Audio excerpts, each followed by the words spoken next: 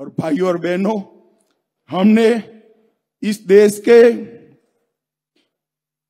इस महत्वपूर्ण हिस्से के लिए समृद्धि मार्ग जो पहले नागपुर तक था, उसको गोंदिया तक एक्सटेंड करने का काम ये भारतीय जनता पार्टी ने किया है।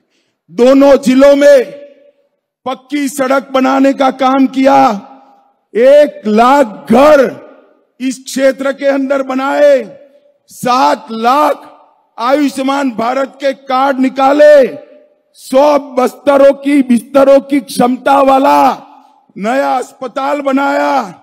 दो लाख दस हज़ार माताओं को उज्ज्वला का, गैस का कनेक्शन दिया और दो लाख चालीस हज़ार लोगों को घर में नल से जल पहुँचाने का काम नरेंद्र मोदी जी ने किया है।